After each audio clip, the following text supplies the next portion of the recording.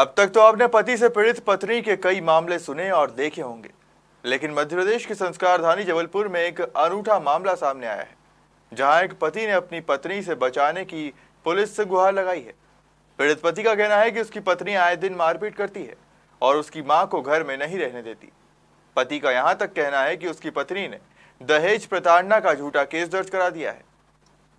रांची थाना क्षेत्र बाबूनगर में रहने वाले निक्की सोनकर ने अपनी पत्नी माधुरी सोनकर द्वारा उसे व उसके परिवार को प्रताड़ित किए जाने व रांझी थाने में झूठी दहेज प्रताड़ना की रिपोर्ट लिखाए जाने को लेकर पीड़ित निक्की सोनकर को न्याय की गुहार लेकर एसपी कार्यालय पहुँचा, जहाँ उसने आवेदन देते हुए एसपी को बताया कि उसका विवाह 2015 में हिंदू रीति रिवाज से माधुरी सोनकर से बरेला में हुआ था।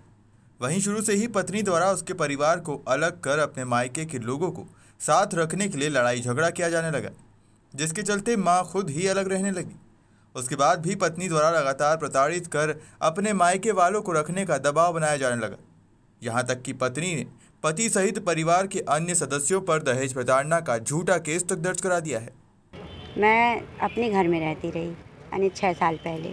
तो इनने ना मैं लड़के को खूब ऊट पटांग किसने? मेरी बहू माधुरी शौनकर ने। खूब ऊट पटांग करके मेरे को घर से बाहर निकाल दी। मैं छः साल अपने मायके में रही। छः साल से मैं अभी चार महीने पहले हम अपने घर गई। तो उसका ये कहना है कि तुम अपनी माँ और बहन को हम यहाँ नहीं लाओगे। उनको वहीं छोड़ दो और यहाँ लाओगे तो मैं फांसी लगा के या आग लगा के मैं मर जाऊँगी और मैं तीनों तीनों माँ मैं माँ बहन और तुम्हारा निक्की सोनकर को तीनों को फंसा के तुम लोगों को जेल पहुँचा तो शिकायत भी कर दी है आप लोगों की। हाँ। महिला थाना में भी दी है रांची थाने में भी दी है उनने बरेला थाने में भी दी है एसपी ऑफ़िस में भी उनने दी है। हम लोग नहीं सोच रहे थे कि वो इतना हम लोग के साथ करे। मजबूरन आके फिर हमको यहाँ आ जाना पड़ा। एस पी ऑफ़िस के हमको न्याय चाहिए क्योंकि कभी हम लोग ने यानी ऐसे सोचते धन और दहेज के लालच में तो अच्छे बड़े घर में शादी करते। एक मंगना के यहाँ शादी नहीं करते कि उनके यहाँ घर घर से भी बुरा घर है। टपरिया वाला घर है। वो देख के मैंने शादी करी थी कि गरीब घर की आएगी हमारे घर में हम लोगों को समझेगी सोचेगी हमारा ज़्यादा बड़ा परिवार नहीं है मेरा एक लड़की एक लड़का है और मैं। नाम बता दीजिए मैं अपना लता सोनकर मेरी बेटी का नाम उनने फंसा रहे रवीना सोनकर जो कि वो अपनी ससुराल में ले रहती छः साल अपने भाई को राखी तक नहीं बांधी वो।